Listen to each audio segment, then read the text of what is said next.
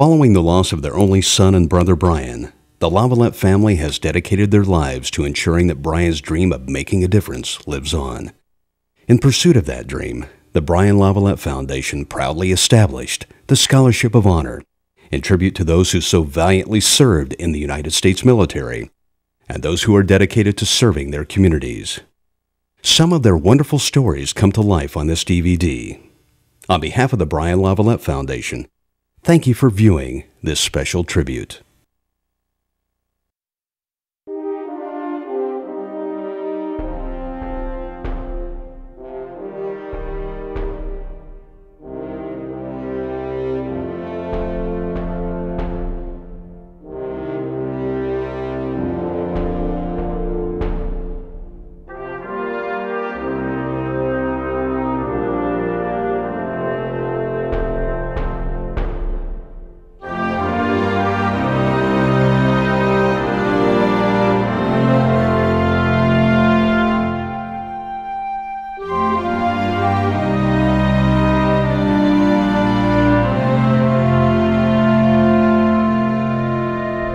Gettysburg, Pennsylvania. What brings us back to this pivotal place in American history? The Eric McCauley Scholarship of Honor. It is an award established by the local community for the students of Gettysburg High School. It is to honor this young Marine who was killed off the coast of Africa in a helicopter crash in 2006 while serving his country. Sergeant McCauley represented bravery well beyond his 23 years. He is one of many we are honoring across this great land. And who are they? Well, they come from the cities. They come from the cornfields and other places of America. They come from different generations. They come from different backgrounds. But ultimately, they come together as our greatest heroes.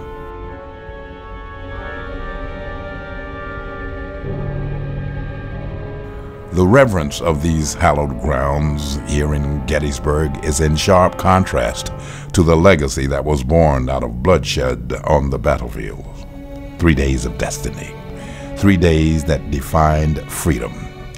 The Battle of Gettysburg proved to be the turning point in the Civil War. Soon after, fragmented states would become united, and growing out of an internal strife, these grounds would come to represent the land of the free. An estimated 50,000 soldiers were wounded or lost their lives on these rolling hills in Gettysburg, fighting for principles and pride more than any other battle in the war between the North and South. In the century and a half since, the battle has extended beyond our shores and is now waged around the world in an effort to protect and preserve freedom. In 1863, the same year as the Battle of Gettysburg was being fought, President Abraham Lincoln established the Medal of Honor to distinguish personal bravery and self sacrifice for honor and love of country. The Medal of Honor remains our nation's highest military honor. In that tradition, the Scholarship of Honor was established by the Brian LaViolette Foundation to pay tribute to those brave individuals who have been awarded the Medal of Honor and those who have given their lives to protect the very freedoms we enjoy. Reflecting the ideals of the Medal of Honor, the Scholarship of Honor embraces the commitment today's students are making to forge a better future for our communities and our world. From generation to generation, patriotism has transcended politics. More than 50 million brave young men and women have served our country with honor. Hundreds of thousands have paid the ultimate sacrifice. As proud Americans, we salute their efforts.